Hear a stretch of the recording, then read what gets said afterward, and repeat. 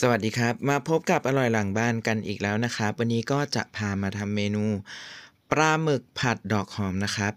บอกเลยเมนูนี้อร่อยมากๆนะครับทำไม่ยากด้วยและเพื่อเป็นการไม่เสียเวลาเดี๋ยวเราไปดูวัตถุดิบและวิธีทำกัน วัตถุดิบของเราก็จะมีแค่ 3 อย่างนี้นะ วัตถุดิบอย่างแรกของเราก็จะเป็นปลาหมึกนะครับ ปลาหมึกผมก็จะใช้เป็นปลาหมึกกล้วย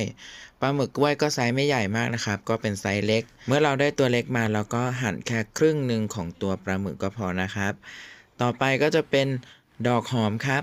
ดอกหอมก็จะใช้อยู่ที่ 1 กรัม 1 กรัมที่เราซื้อได้ตามตลาดเลยนะเพื่อนๆ ต่อไปก็จะเป็นกระเทียมนะครับ ก็จะเป็นกระเทียมจีน ผมก็จะนำมาสับเรียบร้อยแล้ว เดี๋ยวขั้นตอนต่อไปเราก็จะไปหั่นเตรียมวัตถุดิบกันแล้วก็จะนำดอกหอมนะครับ มาหั่นเป็นท่อนให้พอดีคำนะครับ ไม่ต้องสั้นจนเกินไปหรือไม่ต้องยาวจนเกินไปนะ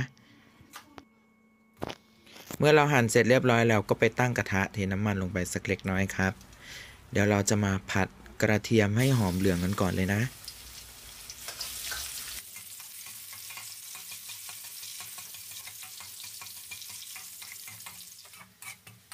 กระเทียมของเราก็ผัดได้ที่แล้ว ต่อไปเราก็นำปลาหมึกลงไปผัดต่อเลยครับ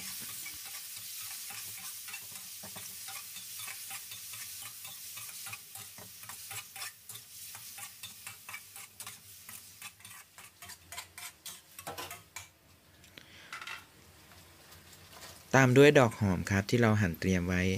จากนั้นเราก็ผัดไปสักเล็กน้อยนะครับ เดี๋ยวเราจะมาปรุงรสชาติกันในขั้นตอนต่อไป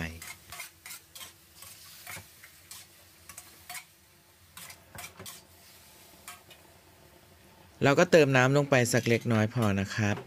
เครื่องปรุงอย่างแรกของเราก็จะเป็นซอสหอย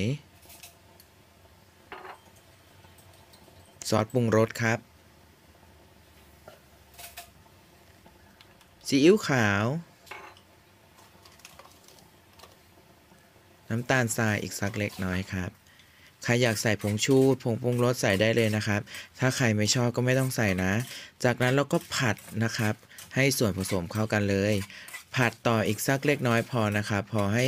ผักสลดลงไปจากนั้นเราก็ปิดแก๊สนะครับ ก็จะเป็นอันเสร็จสิ้นครับเพื่อนๆ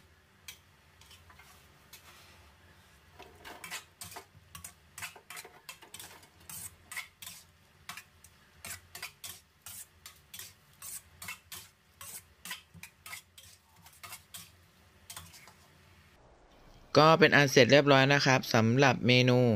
ปลาหมึกผัดดอกหอมนะครับ เราก็จัดเสิร์ฟลงจานเลย ไม่นอนกับลูกหรอกแบบนี้อ้าวเหรอเอ้ยอ่าจัดเสิร์ฟลงจานเสร็จเรียบร้อยแล้วนะครับ ก็เป็นอันเสร็จสิ้นแล้วนะครับสำหรับเมนูในวันนี้ของเรา บอกเลยว่าหอมน่ารับประทานมากๆนะครับเพื่อนๆ ทำไม่ยากอย่างที่คิดนะครับ ก็ลองนำไปทำตามกันดูได้นะครับสำหรับเมนูนี้ ถ้าเพื่อนๆคนไหนยังไม่เคยลองทำก็ลองนำไปทำตามกันดูได้นะครับ แล้วถ้าใครชอบคลิปนี้ก็ฝากกดไลค์กดแชร์ กด subscribe หรือกดกระดิ่ง เพื่อไม่พลาดคลิปต่อไปด้วยนะสำหรับวันนี้แอดมินต้องขอตัวลาไปแล้วไว้เจอกันใหม่คลิปหน้านะครับ สวัสดีครับ